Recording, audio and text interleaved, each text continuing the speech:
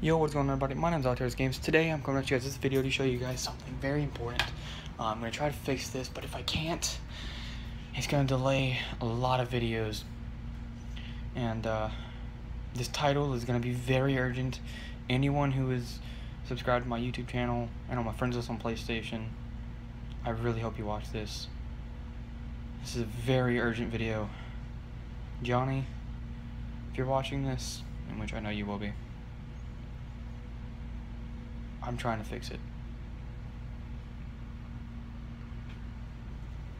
They call it the blue light of death. Basically, it's what your PlayStation gets when it dies, like how the PS3, you know, the, the Super Slim, it doesn't turn on.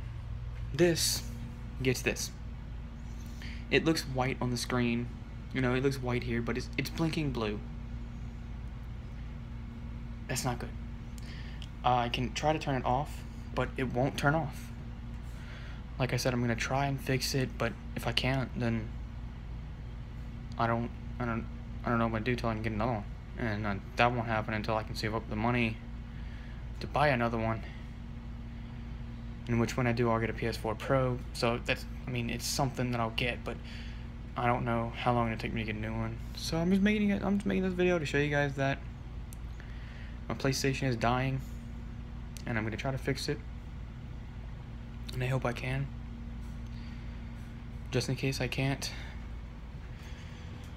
I'm making this video so at least all my friends will know what happened to me.